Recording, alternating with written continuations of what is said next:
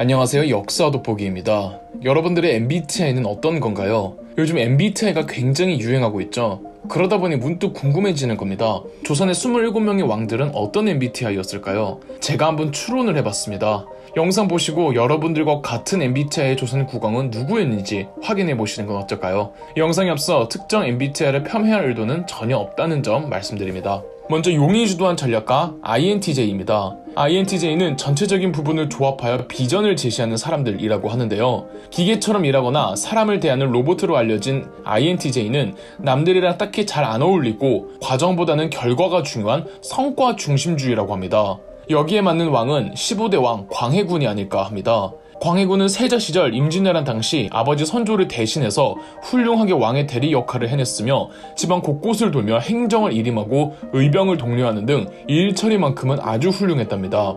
왕이 된 이후로 명나라와 여진족 사이 현실적인 외교 감각을 발휘하며 원칙보다는 성과와 결과, 실리를 중요시했습니다. 그러나 서자 출신의 왕인 광해군은 심지어 적자 출신의 동생까지 있었기에 왕권이 불안정했고 그래서 자신의 지지 기반인 북인 강경파들과 함께 반대파 신하들을 여러 차례 숙청하는 옥사를 일으켰고 또 왕권의 위상을 드높이기 위해 호화로운 궁궐을 짓는 등 차갑고 날카로운 모습을 많이 보이기도 했답니다. 다음은 논리적인 사색가 INTP입니다. INTP는 비평적인 관점을 가지고 있는 뛰어난 전략가라고 하는데요. INTP는 평소에 과묵하게 있지만 이는 생각이 전혀 없는 게 아니라 나름 혼자 골똘히 해결안을 생각하고 있다고 합니다. 제가 생각하는 INTP는 앞서 말씀드린 광해군의 아버지 14대 왕 선조입니다.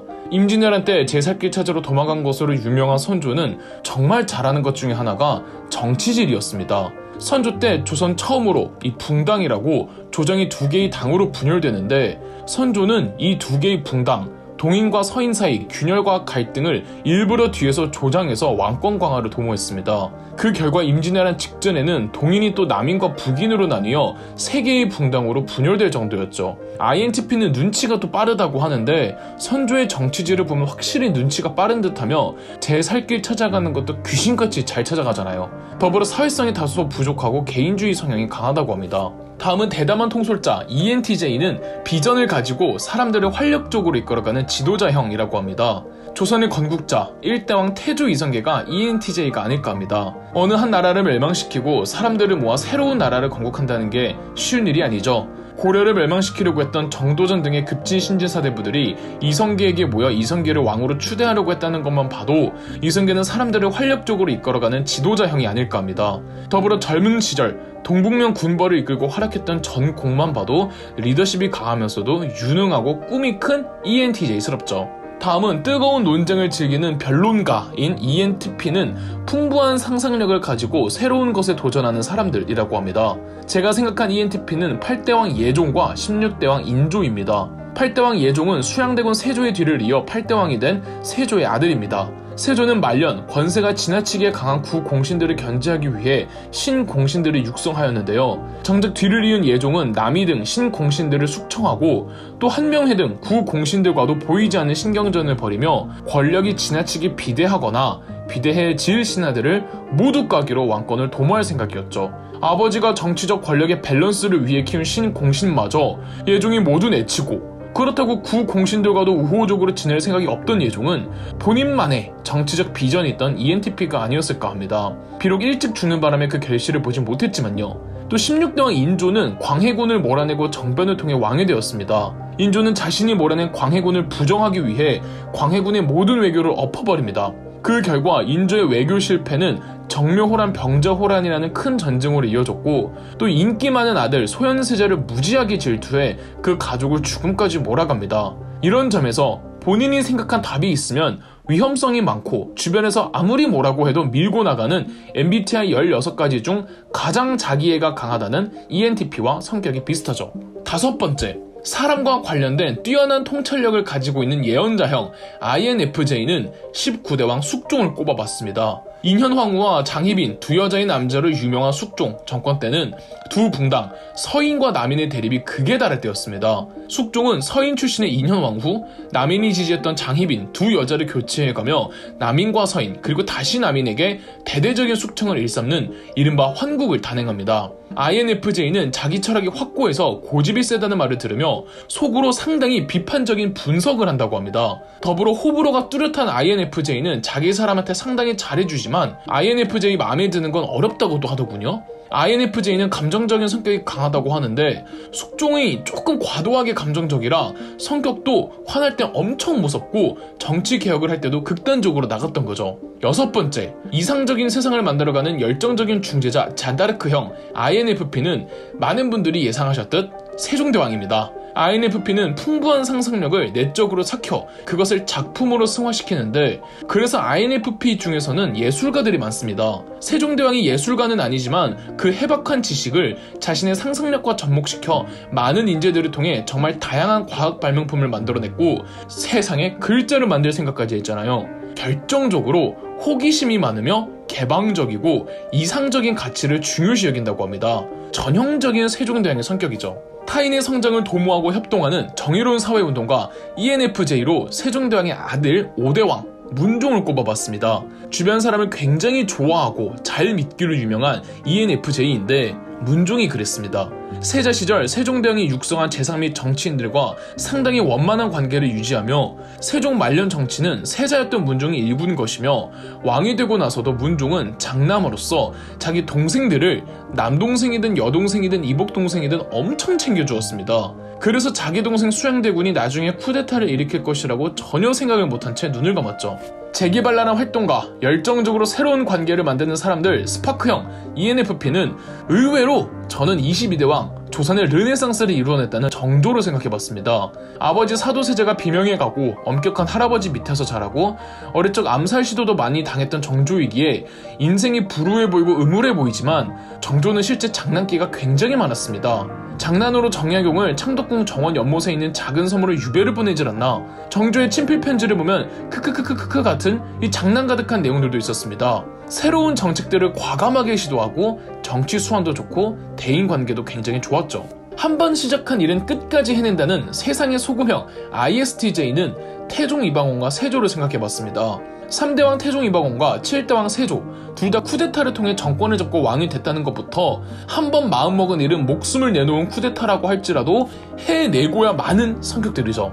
책임감이 강하고 작은 실수 용납 못하고 직설적인 편이라죠. 그래서 둘 다 왕이 되고 나서도 강력한 왕권 강화를 추구했습니다. 가장 소름 돋는 건 ISTJ가 사람들을 통제하려는 경향이 크다고 합니다.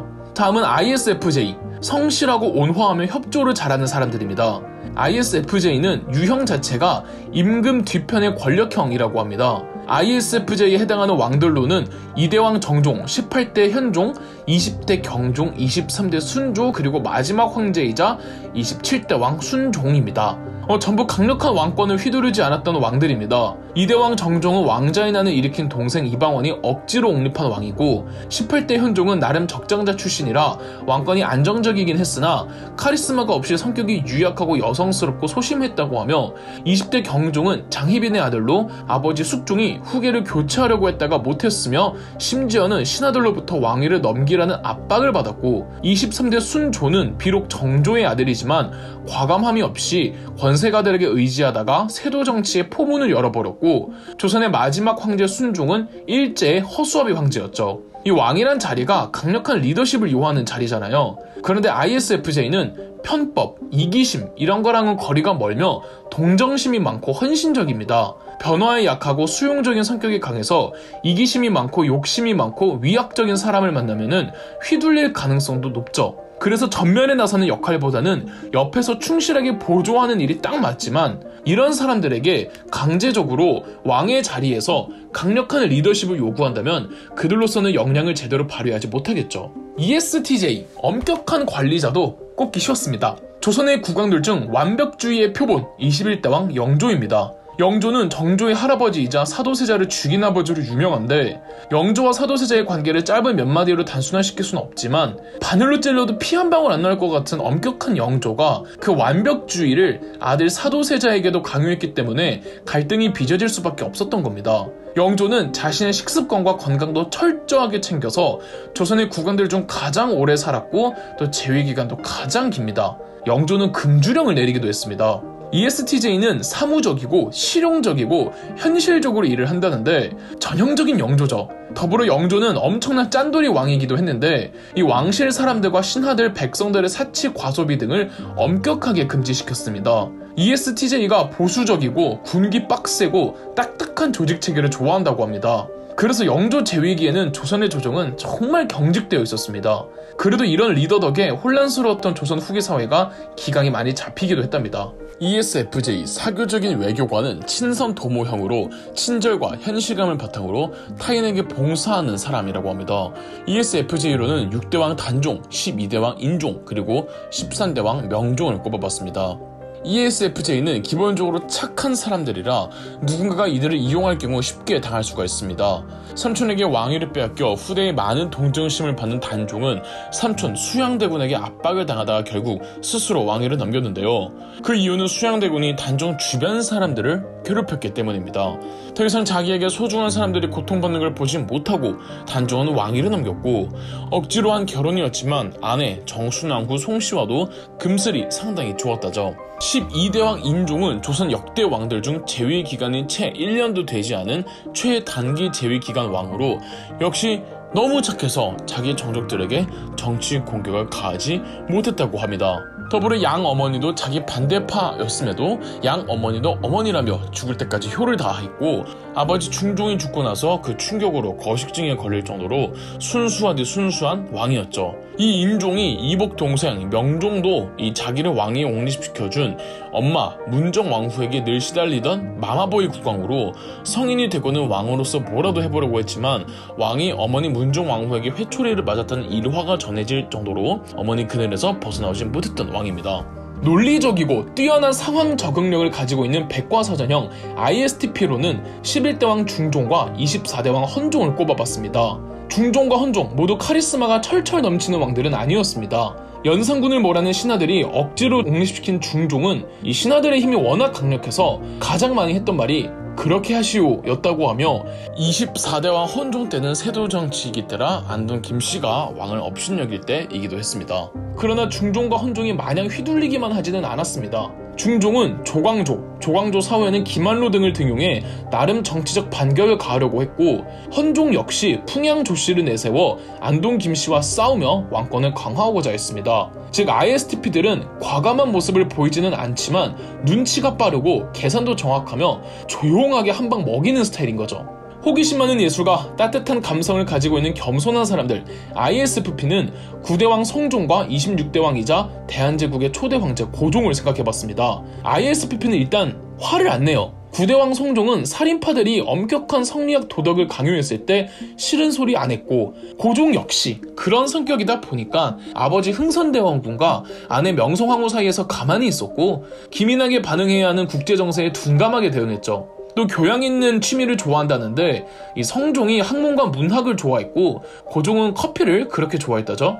방어 기제가 뚜렷하며 ISFP가 동물 키우는 걸 좋아했다고 하는데 성종이 아주 유명한 동물 애호가였거든요. 모험을 즐기는 사업가 ESTP는 수완 좋은 활동가형의 친구, 운동, 음식 등 다양한 활동을 선호한다고 합니다. 제가 가장 먼저 생각난 왕은 17대 왕 효종이입니다. 실제 효종은 운동을 좋아하던 헬창으로 틈만 나면 창 들고 무예 연말을 했습니다. 어깨가 너무 넓어 사후 시신이 관에 안 들어갈 정도였다죠. 인조의 아들인 효종은 인조의 둘째 아들로 원래는 왕이 될 수 없던 왕자였는데 형 소현세자가 죽는 바람에 본인이 왕위를 이었습니다. 그래서인지 출신 컴플렉스가 있었고 또 아버지 인조가 외교 실패로 워낙 사회를 말아먹은 상황에 재상들과 제야의 정치 거물들을 잘 활용해 나름 정치가 안정적이었던 걸로 봐선 효종 역시 수완 좋은 ESTP가 아니었나 합니다. 또 북벌을 준비하겠다며 군사력 강화한 것도 도전적인 체질인 듯 하고요. 마지막 ESFP는 자유로운 영혼의 연예인이라고 합니다. 좋게 작용하면 분위기 잘 띄우는 인싸이지만 안 좋은 쪽으로 극단으로 가면 충동적인 성격 때문에 비행 청소년이나 흑화될 가능성이 있다고 합니다. 노는 걸 굉장히 좋아하고 억압 당하는 걸 혐오한다고 하는데 여러분 딱 한 명이 생각나지 않나요? 10대 왕 연산군입니다. 연산군은 춤, 노래, 시에 굉장히 능통했다는 점에서 연예인적 기질이 다분했고 다만 안 좋은 쪽으로 빠져서 자기한테 뭐라고 하는 신하들 잔인하게 죽이고 하고 싶은 거 먹고 싶은 거 무조건 해내고 먹어야만 직성이 풀리는 성격이었습니다. 25대 왕 철종도 ESFP로 생각을 해봤는데요. 원래 평범한 농부였다가 안동 김씨의 강제로 왕이 된 철종은 나름 정치 개혁을 단행하려 했지만 워낙 강했던 안동 김씨의 세도 정치 전행을 막지 못했고 말년에는 여색과 주색에 빠져 살았습니다. ESFP가 포기가 쉽고 용두섬의 성격이 강하다고 하네요. 이렇게 조선의 국왕들을 MBTI별로 분류해봤는데 뭐 어디까지나 제가 개인적인 생각하에 엮은 거라 그냥 재미로만 봐주세요. 그래도 여러분들이 조선 국왕들에 대해 조금 더 재미있게 이해하셨으면 하네 요. 그럼 역사 돋보기였습니다. 영상 재미있으셨다면 구독과 좋아요, 알림 설정까지 해주시면 감사드리겠습니다.